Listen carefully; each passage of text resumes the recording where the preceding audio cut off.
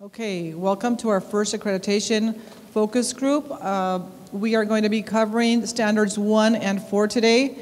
We just had a great visit with our team chair, uh, Dr. Mike Rota, and he was very complimentary of the self-evaluation report. He said that it- we had lots of evidence, that he didn't really see any major issues, so that was very reassuring to hear. And um, the visit, as you know, starts on Monday, March 11th, but they will actually not come to the campus until Tuesday, uh, the 12th. So that's the first day they'll be here, and then they're going to be leaving um, on Thursday, the 14th. They'll have an exit interview, and, uh, and then they will leave, and we expect to uh, hear something uh, fairly soon, a preliminary report, as we'll talk about later.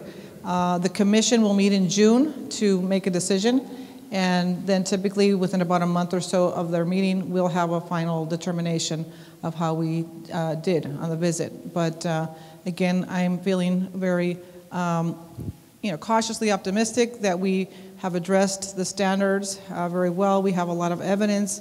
Um, Han has done a great job of posting the uh, self-evaluation report and all the evidence on the accreditation website, so uh, please try to start looking at it. Also, by next week, hopefully, everybody will get a hard copy.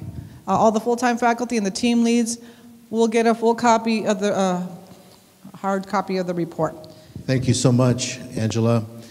Um, We just, uh, I wanted to allow a few minutes for the vice presidents because one of the things that uh, Mr. Rota said when he visited us this morning was the need for leadership and uh, consistent, stable leadership and follow through the accreditation um, action agendas that are developed.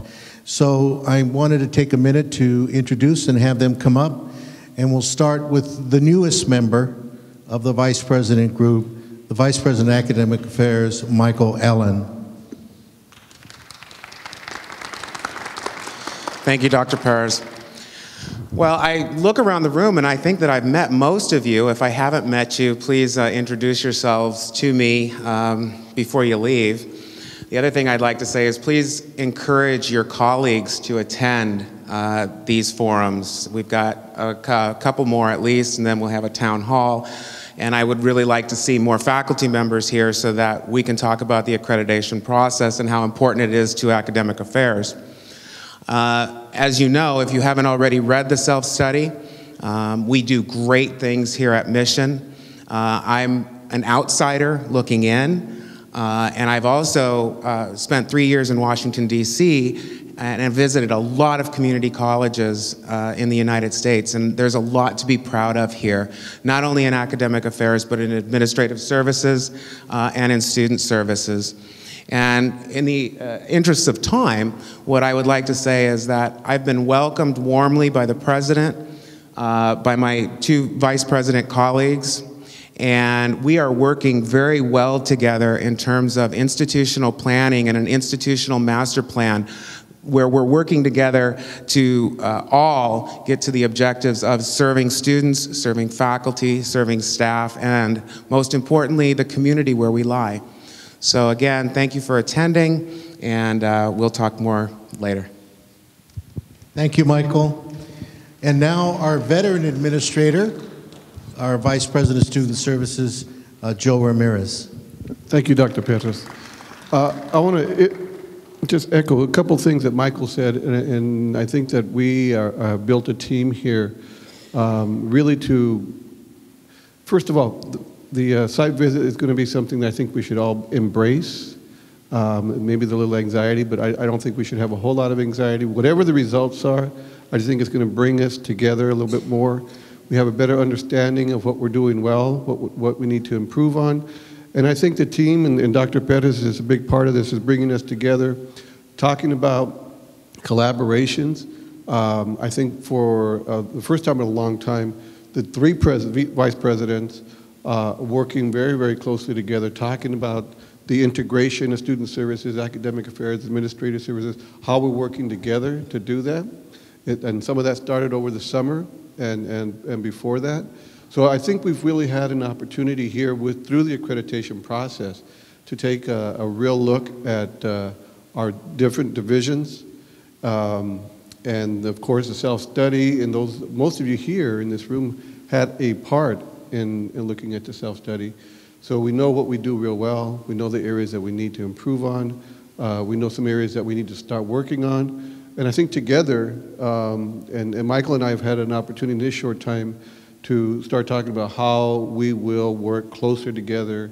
Um, and, and just one of the two things that happened recently, and it also happened with, with Stephanie when she was interim uh, lead administrator, was that we started to talk a lot more. Um, Michael's invited us to the Council of Instruction, always have a presence there. And we've invited Michael to our Student Services meeting or, or a designee to really understand the dynamics of our programs and our division. So we're real happy about this time. I think we're going to do well. And if we don't, if we have a piece here and there to correct, we just jump in there and do it, and we'll do that collectively and collaboratively. Thank you. Thank you, Joe. Appreciate that. And finally, uh, the engine, uh, you can't do anything without finances, is our Vice President of Administrative Services. And one of the things about accreditation that is going to be looked at very carefully in a microscope will be our finances. So, um, Danny Villanueva, our VP of Administrative Services, please tell us a few things. Good afternoon. Thank you. Uh, just want to echo what, what Dr. Perez, uh, Michael, uh, and Joe have said. I think uh, this last month has been very exciting. We're working really good, almost seamlessly in this short time uh, together. Uh, I had an opportunity to spend a little about extra hour with our lead because I'm the ALO, but one of the things that he's really going to be focused on is the finances. the district will have a special accreditation visit solely for finances by the ACCJC Commission. This is something that is coming from the feds, so this is critical. So money is a driving force as to what type of institutions we're going to be in the future, and they really are concerned about cash flows. Budgets are good, but budgets and cash have nothing to do with each other. Uh, fortunately, uh, my previous experience deals with cash flows and deals with finance, so he and I talked about California financing uh, the intricacies of it. So I think we're on good standing to be able to walk him through that. Uh, my role during uh, the week of accreditation is kind of dual. I'm not only, you know, working on standard three, but basically uh, I am the single point of contact for everything and anything. Whether somebody wants a sandwich, or they want additional information, or they want to talk to somebody, or they want to know what restaurant is open at 10 at night. I'm the single point of contact. So during that week, it is critical that if I'm calling you or hounding you down, it is because the accreditation team wants something. It's not my typical call just to tell you no on a purchase order, but it's, it's to be able to call you because the accreditation team. So that week of March 11th, my sole purpose, as I've been directed, uh, is to solely focus on the accreditation team and literally just sit there and wait for requests and facilitate everything. So uh, your cooperation is greatly appreciated in advance. It's going to be a great visit. Uh, we'll know uh, around June. Uh, that's when the Accreditation Commission meets, and in about 30 to 45 days after that. So we're looking at the end of July, early August. We'll, we'll know what the, well, where we're at. So thank you very much. Thank you, Danny. So that week he is the uh, ALO's accreditation liaison officer, and his, his role will be to be the point of contact. So let's all light a candle for him, make sure he eats his sweeties, because he's going to be on his feet 24 7 that week. So I want to thank the three vice presidents. I just wanted to put that on record that they are working closely and they're moving forward to assist us during this accreditation and also through all the operations of the college. Um, so without uh, further ado, I want to go ahead and introduce the panel. So for standard one, we have um, Kathy Brinkman, who's standing right here as our administrative lead, uh, Angela Agajanian, uh, Gloria Dames, Rosalie Hilger, and Tobin Sparfeld, and they're going to be um, giving us a presentation on Standard 1. Well, good afternoon. Um, I'm really uh, very pleased to be here today. We've had a really strong team on Standard 1. Um, it's a very comprehensive uh, standard in terms of looking at both the mission statement and also improving institutional effectiveness. I did provide a handout which actually starts looking at the standard. The, the 1A includes the mission statement. And in the 1A standard, uh, we are asked to discuss the college's mission statement, which defines the college's institutional commitment to achieving student learning. The mission statement serves as the college's foundation for institutional planning and guides the college's strategic master plan and the development of the other master plans at the campus. Um, up here, um, this is specifically the language in the standard, if you want to take a look at that. And then we're going to have Rosalie uh, Hilger um, talk about what we did with Standard 1A. Hi, everybody. Um, as you know, the mission statement for any institution is crucial. It really defines the institution and what um, the work is that we're going to be doing. So, uh, one of the things that uh, you know about a mission statement is that it's very much alive and vital. So, it constantly changes depending on uh, new information that's being uh, brought to the institution. So, we have looked at the mission statement, and there were some revisions that took place in 2010 and 2012. And uh, the revisions were as a result of surveys that were given to faculty, staff, and students. We had almost a thousand responses to our um, survey. As you can see, about 710 students responded, and about uh, 179 faculty responded. And so um, there were. Um, some results that are uh, listed there. We had the adopted statement, which overwhelmingly was voted um, into existence. We had an alternate statement, which got less votes, and then we had neither statement, which got a few votes. So, um, as a result, uh, our revised mission statement as you will see it in our catalog, in our um, schedule of classes, and around college, in our classrooms, in our offices, states. And this is crucial. Los Angeles Mission College is committed to the success of our students. If you know nothing else, I think this really says it all. The college provides accessible, affordable, high quality learning opportunities in a culturally and intellectually supportive environment by ensuring that students successfully transfer to four year institutions, prepare for successful careers in the workplace, and improve their basic skills. It encourages students to become critical thinkers and lifelong learners, and it provides services and programs that improve the lives of the diverse communities we serve.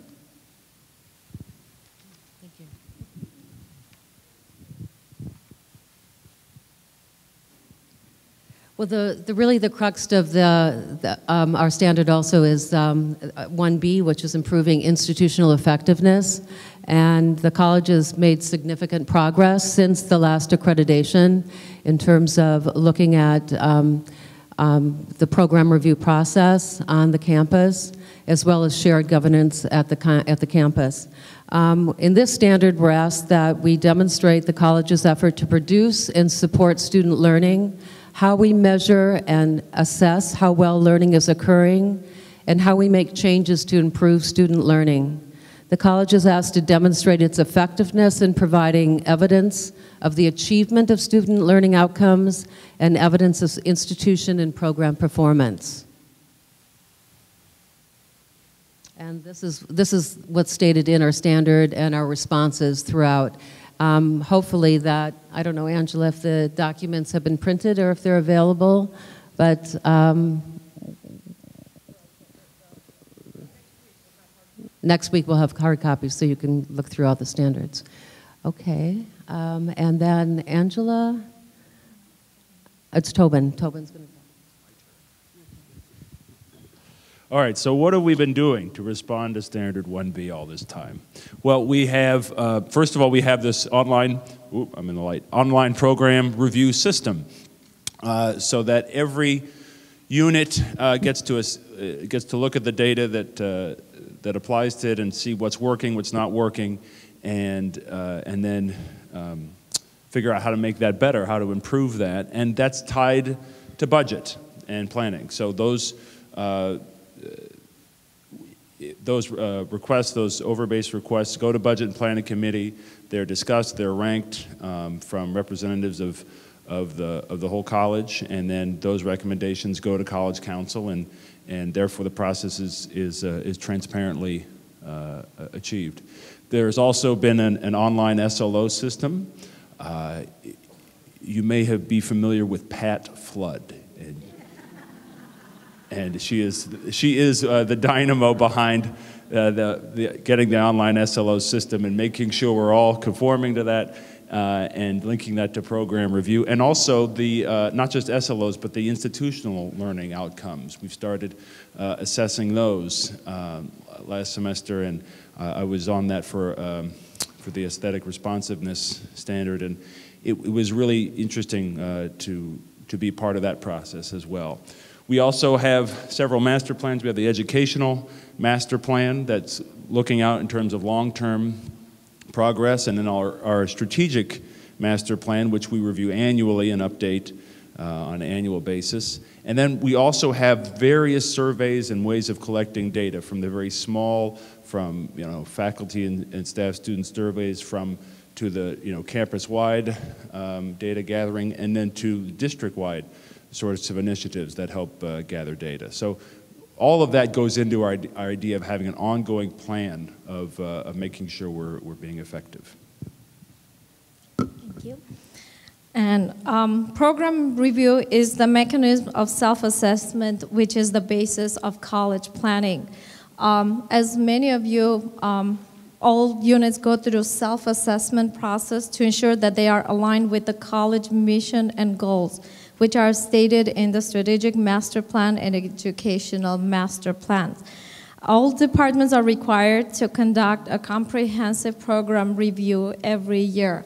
Although the comprehensive is every, conducted every three years, um, we all are required to do an annual um, program review on an annual basis.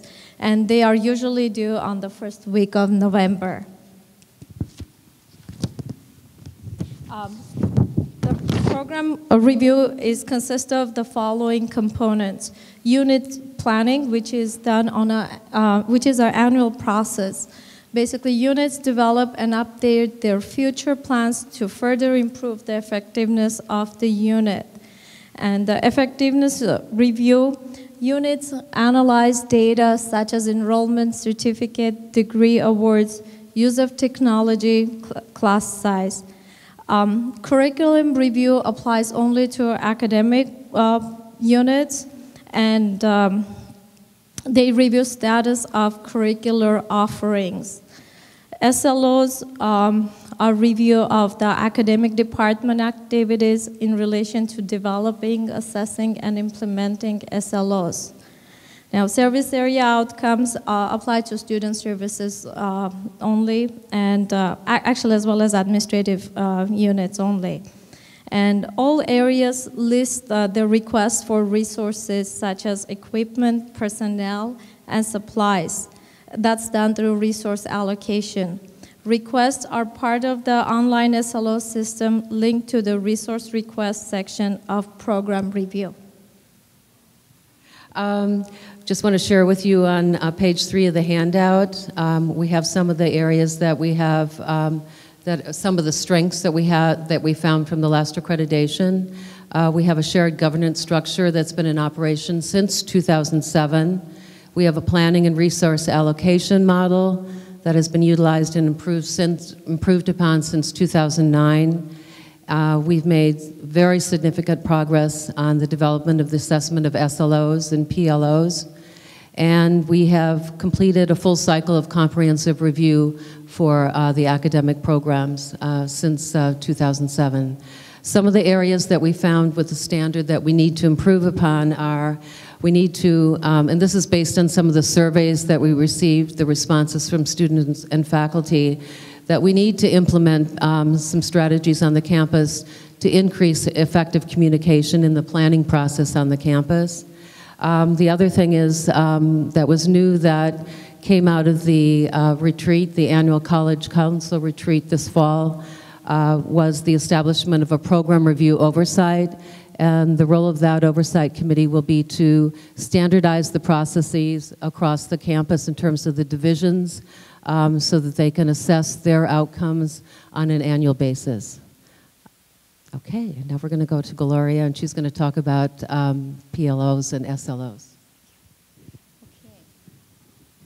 Hello. Um, as our mission statement indicates, we are committed to our students' success. So, um, therefore, we want students to learn.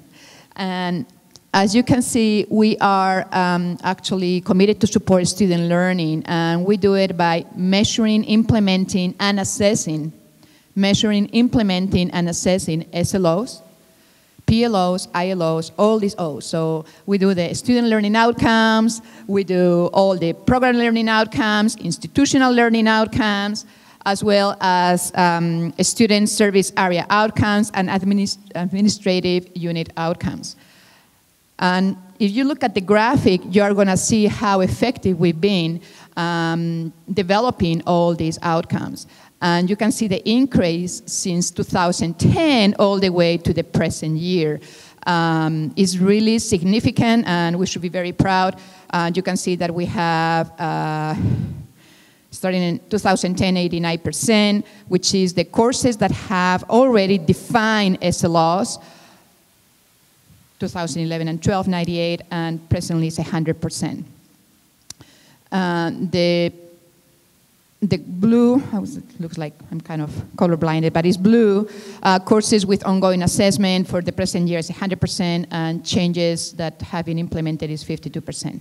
The changes that you have implemented when you assess your SLOs um, are changes such as, for example, uh, making some type of uh, change with your um, assessment, assessment type that you do in the classroom, perhaps referring students for tutoring, any changes that you have to do um, that's what this is reflecting, changes implemented. So there was 52%, uh, I'm explaining this right, 52% change than with all, courses.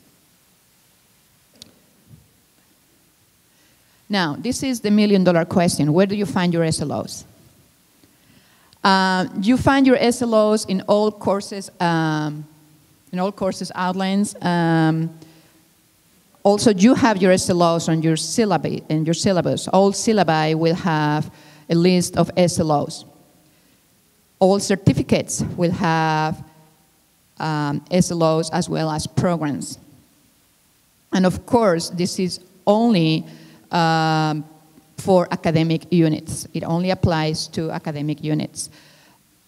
Uh, we are all aware of the connection that we have between SLOs, PLOs, and ILOs.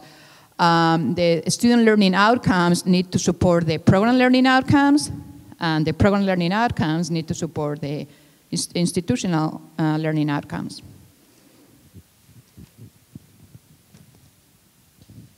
How do we assess these outcomes? Well, um, we are all familiar with the ECD, Electronic Curriculum Development Online, ECD. So we use it to um, create our um, SLOs, um, review them, and that also includes uh, PLOs, um, program review, uh, that we do uh, annually, or the comprehensive, which we do every three years.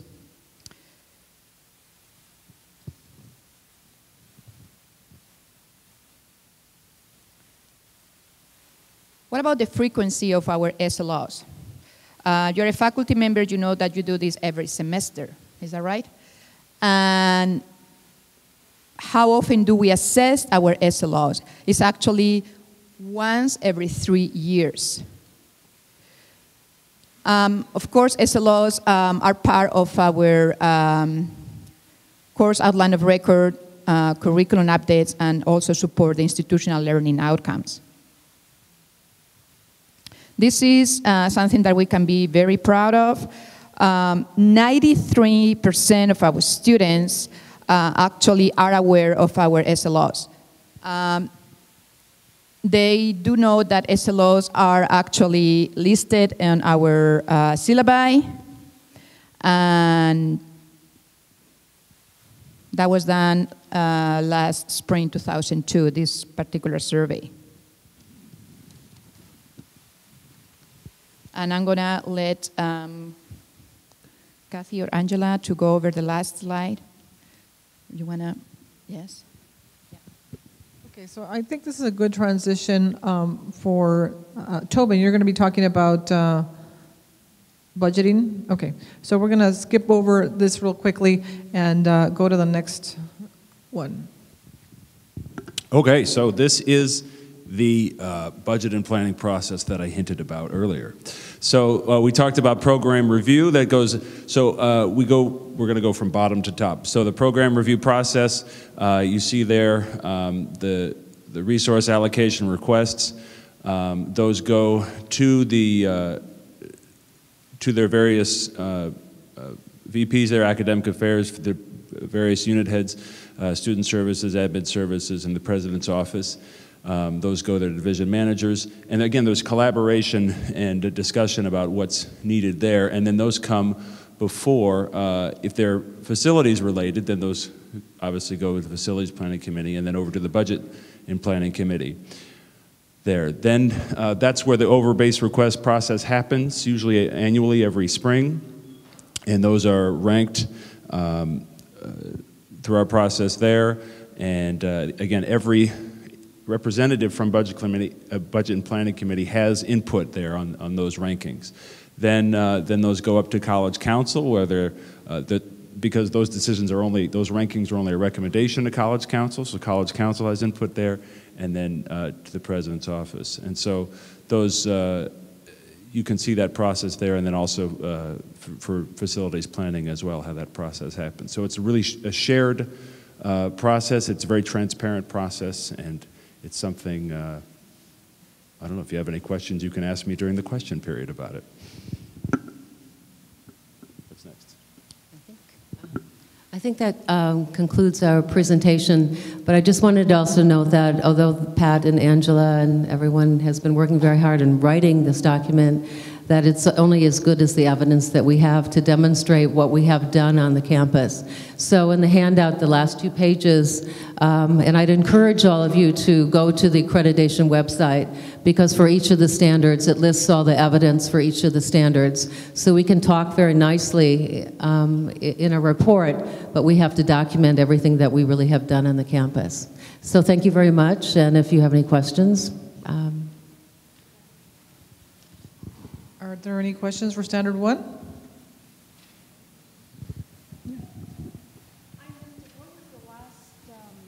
to find the SLOs. Oh,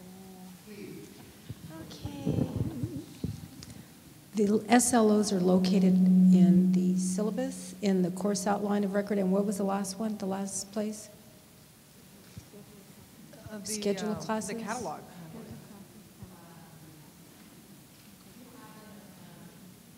Course all. Yes, um, SLOs can be found on you know, your syllabus, syllabus or all syllabi, syllabi. All active courses, certificates, and programs have student learning outcomes. Again, uh, courses, certificates, programs, and of course, your syllabus. Thank you. Thank you. Sure. As the Assistant SLO Coordinator, can I say something about that? Um, So we do have the syllabus, we do have the ECD, COR, and we do have the online assessment system. Now, you cannot find the PLOs in the COR, ECD, sorry for all the acronyms. Um, But um, you can find the, on on the SLO assessment system, all the PLOs and ILOs and everything.